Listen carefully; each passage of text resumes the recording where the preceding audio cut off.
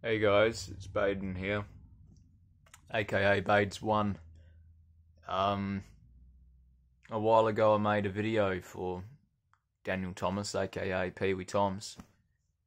Uh, for those of you that don't know of him, he's a uh, UK YouTuber that deals with cancer, and he um, vlogs about it. Um, he hasn't been making his regular videos for a while, unfortunately, and that is probably because he is at the moment in a hospice in the UK and he's not doing very well. Um, I really wish that wasn't the case. Like, I really wish that he wasn't dealing with that sort of thing. Sorry, guys. Um, I had to cut for a second. Um, but yeah, this uh, young man in the UK um, has been dealing with cancer, and um, he's touched a lot of lives. You know, he's touched a lot of people, and at the moment he's struggling in hospice. You know, and he's not doing very well. Uh, hits me rather hard because I um have been following this guy's journey and I've been watching, I've been commenting, you know, I feel like I've been able to get to know the guy.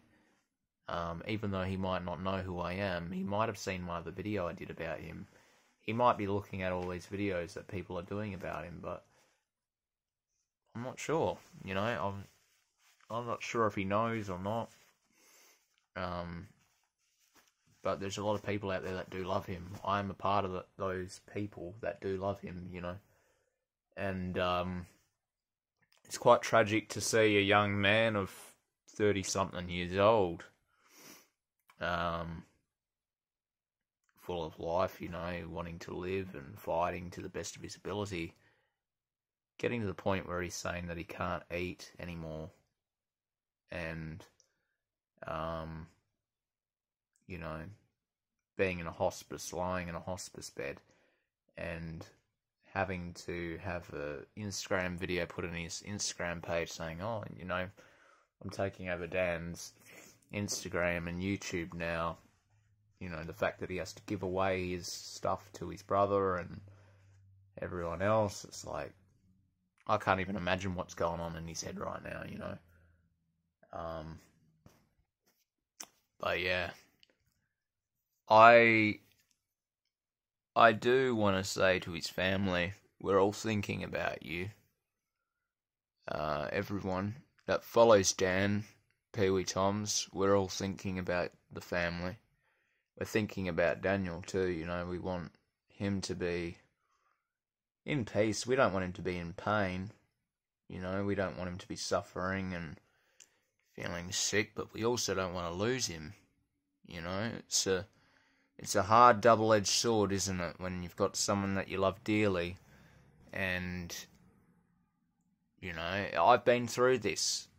I've honestly been through this whole hospice bit, and I've been through it three times with three different people that I've loved, um, and they all passed, and it was it was not nice. It wasn't pretty. It wasn't good. It didn't look good.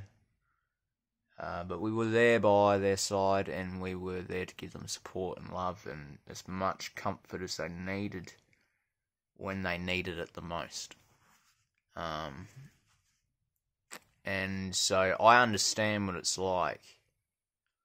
I understand well, well enough what it's like to lose someone um, in hospice and to go through that whole grueling process of sitting there multiple nights, staying up and not getting much sleep, wondering, oh, is this the day or is this the moment? Is this the hour that this thing, this event is going to happen where I lose the one that I love dearly? You know, I've been through it all and I've done it three times. So you can imagine how much I've been through and what I've witnessed. Um, but for this family, this is probably, I don't know, maybe the first that they've ever witnessed of this. and it's a young man. It's not someone that's in the sixties, like or eighties, like I had to deal with. You know, because you can make an argument and say someone in their sixties or eighties is more well off to die than a young thirty-year-old man. Um. But it's never nice seeing the ones you love go out in a horrible way. Suffering, you know, it's horrible. It's horrible. And I can understand to a degree of what it's like for Daniel when he says he can't really eat anymore. Like, I'm not on solids anymore myself due to my health condition. I won't really go into that. But I can understand how that feels, you know. I can understand to a great degree what that feels like.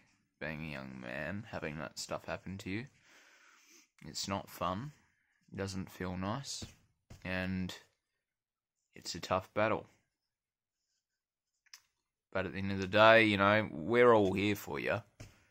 All of us supporters are here. You know, it's I'm a, I'm a little bit. I'm, if I'm going to be honest, I'm a bit worried because as a few days go by, like usually Daniel likes to upload very regularly, right? So Daniel used to, um, not used to, he usually likes to upload very regularly, and um, he hasn't been able to do that in a while because he's been very, very ill, and um, you know it's it's been tough on him. So he's been getting tired, and this battle's been getting hard on him. And you know, I'm pretty sure that he said in post, "I'm not afraid to die," sort of thing. Um, but he also doesn't want to give up. But this battle's getting hard for him. I guess what we've all got to understand at the end of the day, if it gets too hard for him and he needs to go and be at peace, and we're gonna have to be accepting of that. But um, you know, I will always um, support Daniel as much as I can and always root for him to overcome any obstacle that he wants to overcome, no matter how far gone it may seem, no matter how tough it may look. Um, because sometimes you've got to do the seemingly impossible and just hope and pray and believe in a miracle, you know. I don't want to give Daniel false hope. I don't want to do that. But this guy just shocked me. For his whole journey so far, he shocked me. Because he's the one guy that I thought could definitely beat this thing. Like, if anyone could beat cancer, it was Daniel. I think. You know, it's just it's shocking because he had a marriage, he did all this stuff. You know, part of me was thinking, oh, okay, he's probably doing the marriage now and wanting to do it very sudden and quickly because he's worried he's going to go soon. You know, that's part of what I thought in my head. You know, I was like, oh damn, you know, it's probably part of it was because he's probably worried he's going to really go soon, and then not long after the mar- marriage, he's in hospice.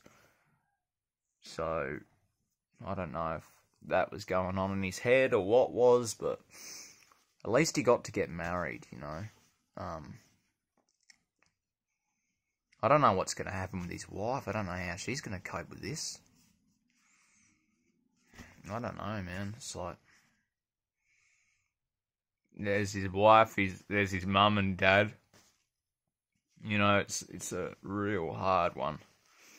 It's a tough one to really comprehend at the end of the day of how they're going to deal with it. But if I'm going to be honest with you, because I've been through this experience of losing the loved ones in this type of fashion, there will be a bit of an emptiness there for a while. And it will be hard to get over.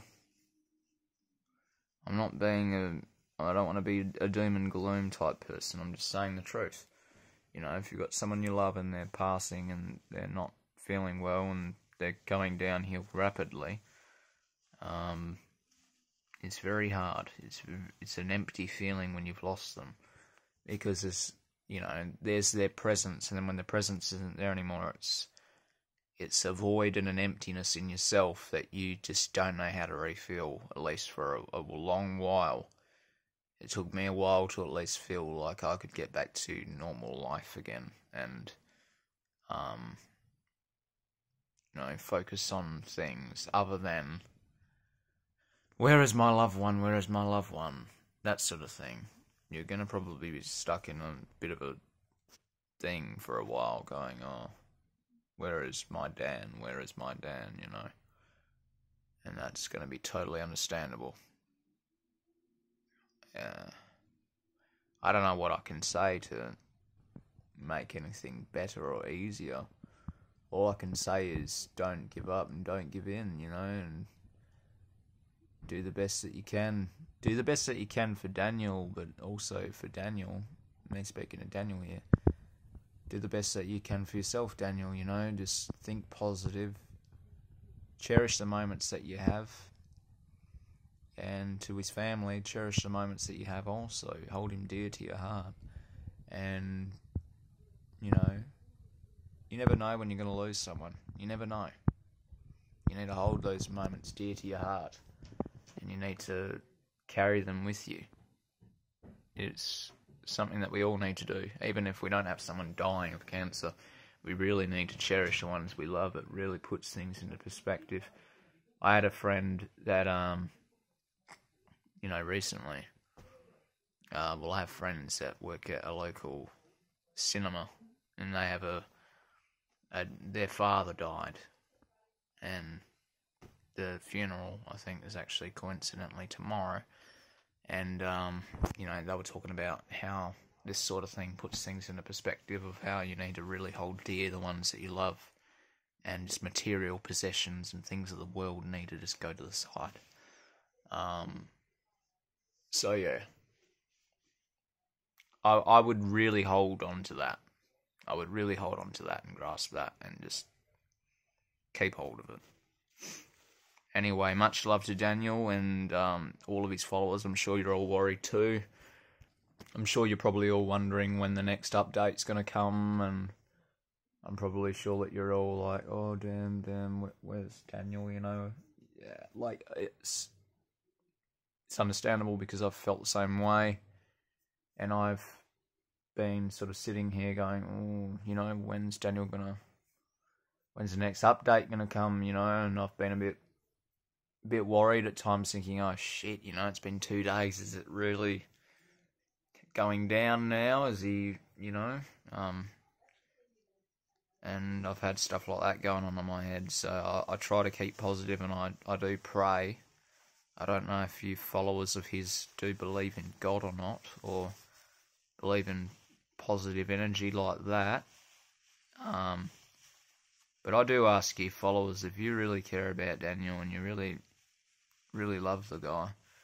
Um, put him in your thoughts and prayers. Uh, I'm sure you already do. I, I, don't really need to say that. You know, if you you've been following Daniel and I've seen the comments on there, you guys really do love him and care about him. Um, so you're probably already doing that a lot. Um, but yeah, I just thought I needed to say that anyway, just to reinforce a positive message. Um, but yeah, uh, I'm I'm waiting for the next update as as you all are anyway. As for Daniel, don't feel forced or rushed to update us all. You know, you're going through a tough time right now, so um, and the family as well, so that they eventually will come out with something. Um, who knows? The next update might be from his brother saying, oh, "Sorry, we've, you know, lost him or you know it might be daniel saying i'm still here i'm still battling knowing daniel it might be that way. He's strong. He's a he's a freaking crazy strong man you know. Uh, i've seen some of his posts on instagram. There's sometimes that i've thought to myself oh damn he's gone now. And then he'll say things like he'll he'll have a video and he'll be short of breath and he'll be like i'm still here. And it's like my god how does this guy still fight? And how is he still here when he can't eat anymore, when he can't do this, he's a freaking machine. He's a freaking machine. Um, and that's one reason why I thought this guy definitely can beat this thing. Because he's withstanded way more than he needed to. Anyway, that's that's one thing I want to say is that I have a high amount of respect and love for this guy because of what he's been through. And you know, he's just amazing. He's amazing. No one will, will ever be like Dan. Like no one on this YouTube journey that I've seen of cancer, I haven't followed a journey like that and seen it to its completion and thought, wow, you know, what courage, what strength. You know, I've seen other people that have had cancer and their journey, blah blah blah like a young girl, she had it, but she went rapidly and she went down. Daniel stood in his fort for a long time. And uh, that I can respect because I know what that's like all too well. Anyway, peace. Send some love to Daniel and um, go to his Instagram. It's at Pee Wee Toms. And. Um, give him some love. Messages, comments, all the love you can give. Even on his videos, comment. Spam it with love. Likes, favorites, comments, anything. Give this guy the loving support that he needs. Peace.